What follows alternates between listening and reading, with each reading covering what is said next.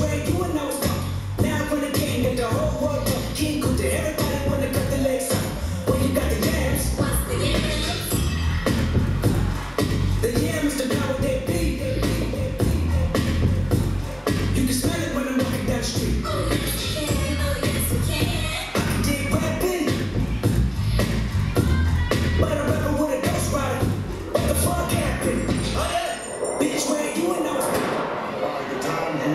pop, the funk shall be within you.